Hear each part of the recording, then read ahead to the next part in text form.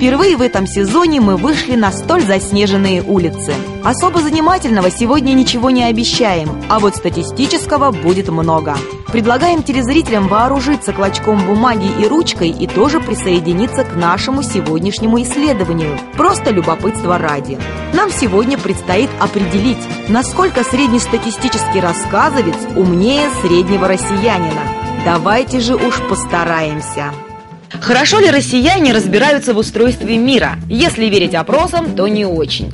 Предлагаем вам ответить на вопросы, которые до этого задавались полутора тысячам российских граждан с целью выявления уровня их научных знаний. Так вот, успешно справились с заданиями и показали высокий уровень знаний лишь 20% россиян. Давайте и мы, рассказовцы, попробуем попасть в эти 20% самых умных. У нас есть 12 утверждений, которые могут быть либо истинными, либо ложными. Если вы согласны с утверждением, говорите «да», если не согласны – «нет». Ну, в общем, начинаем. Вы отвечаете «да» или «нет» дома, а мы пытаем прохожих на улице. Земля вращается вокруг Солнца, да или нет? Нужно ее подчеркнуть. Верно. Наш ответ «да». Правильный ответ «да». Но 11% россиян ошибочно ответили на этот вопрос. Центр Земли очень горячий, да или нет? Да нет, не горячий. Какой же он горячий? Нет. Наш ответ «нет». Правильный ответ «да». 21% россиян тоже ответил неправильно. Молоко, зараженное радиацией, можно сделать безопасным для питья с помощью кипячения. Да или нет? Все равно, наверное, будет опасно, если радиация большая. Ну да, значит, мы его пить не будем. Нельзя его Если будет. заражена, конечно, наверное, нужно избежать этого, чтобы не пить. Наш ответ «нет». Это правильно. Не знают верный ответ 29% россиян. Континенты движутся уже миллионы лет и будут продолжать двигаться в будущем. Правда это или нет? Правда. Подчеркиваем «да». Мы выбрали «да». Это верно. 30% россиян не знают ответа. Электрон меньше, чем атом. Ну вот есть какие-то частицы, есть электроны. Я вот понимаю, и немножко хочу немножко осмыслить. И Да, мне пожалуйста. немножко- Мне конфигурация немножко знакома. А вот вывод я сейчас, короче, произведу, я сделаю вам надпись какую-то. электронную. Пожалуйста. Потому что для нас, для женщин, это... Электроны, протоны, они как-то, по всей видимости, меньше. Электрон меньше, чем атом. Мы с этим согласны, подчеркиваем «да». Мы говорим «да». Верно? Да. Неправы 44% россиян. Вселенная образовалась в результате мощного взрыва. Потому что женщины не справляются с таким вопросом. Тут мужская помощь нужна. В результате взрыва образовалась наша Вселенная, да или нет? Трудный вопрос. По-моему, нет. Наш ответ нет, а правильно – да. Но не переживайте, 48% россиян тоже не ответили верно.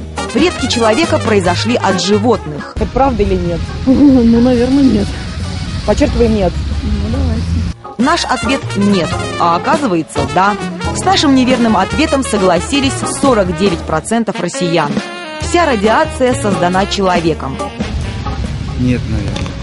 Мы считаем, что не вся. Это верно. 56% россиян этого не знают. Пол ребенка определяют гены отца. Да или нет нужно выбрать? Правда. Наверное, правда. Спасибо. Конечно, да, это правильный ответ. Хотя 62% других россиян не согласны.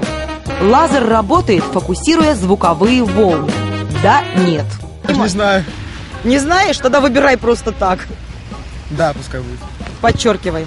Ответ рассказовца – да. Это ошибка. Но 70% россиян тоже ошиблись в этом вопросе. Обычные растения не содержат генов, а генетически модифицированные содержат. Это правда или нет? То есть у обычных растений нет генов.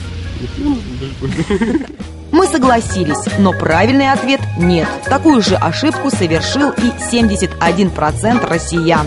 Ну и последний вопрос. Сразу скажу, в целом по стране 77% людей ошибаются, отвечая на него. Антибиотики убивают не только бактерии, но и вирусы. Да, нет. Все, наверное, убивают. И вирусы, и бактерии. Ну да. Мы тоже ошиблись. Пока подсчитываются результаты, выясним еще кое-что. Как вы считаете, является ли астрология научной областью знаний? Да, это наука, считают 47% ответивших рассказовцев.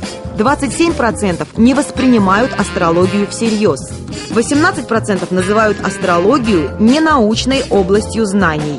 6% затруднились ответить, но астрологам верят. У нас есть данные по стране. Обратите внимание на красный сектор. Большинство россиян тоже считают астрологию научной областью знаний. Сами же астрологи утверждают, что астрология имеет все признаки, характерные для науки. Она ведь совершает два основных действия – наблюдает за небом и интерпретирует полученные данные. Однако с точки зрения современной науки астрология является типичным лженаучным учением и разновидностью гадательной магии. Ну а теперь пришло время озвучить результаты нашего сегодняшнего тестирования. Мы с прохожими на улице правильно ответили на 6 вопросов из 12. Наш уровень знаний средний. Такой же уровень знаний у 57% россиян. На нашем сайте в интернете появился очередной опрос, в котором мы вспоминаем одну очень занимательную детскую забаву. Поделитесь своим мнением. Всем удачи и до встречи!